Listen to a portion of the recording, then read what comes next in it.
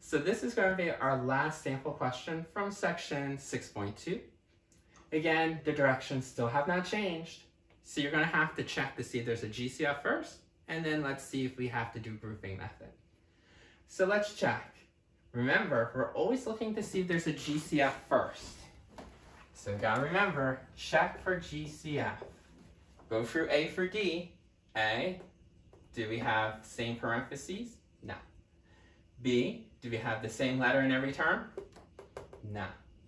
C, do we have the same number in every term? Numbers? Numbers?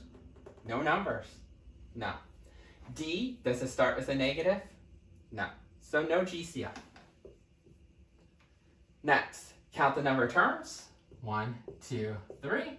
You know three terms with no leading coefficient, no number in front. Shortcut. So let's try shortcut. And if you forgot a shortcut, two sets of parentheses is your setup. Step one. Break up the leading term p squared as p and p. Step two, sign issues. Remember, this is a plus sign. So that tells me same signs. So these two binomials have to have the same sign. Now that either means two pluses or two minuses. It could be two pluses or it could be two minuses. You have to look at the middle to determine what type. Anytime it's same. Since it's a minus, haha, minus, minus. Step three, do all the combos of the last item.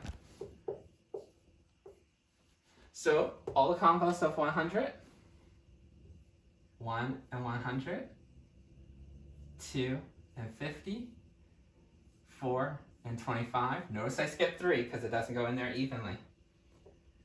5 and 20, 6, nope, 7, nope, 8, no, 9, no, 10.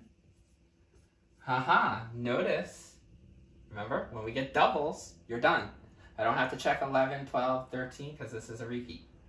So I have five combos to check from. Remember, once we get our list, which was step three, step four, we're going to either add or subtract the list. Because this is a plus, we're going to add. So we got 101, 52, 29, 25, 20. Step five, choose a combo. 15, uh-oh, there's no 15. Remember, we double checked. We knew I had to add my combos. I knew I got all my combos down. There was no GCF.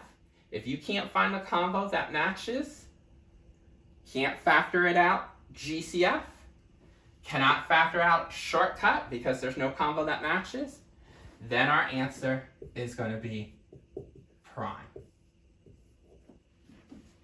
Remember, will be occasions where you might not get a combo that matches. If you can't find a GCF, just say it's prime.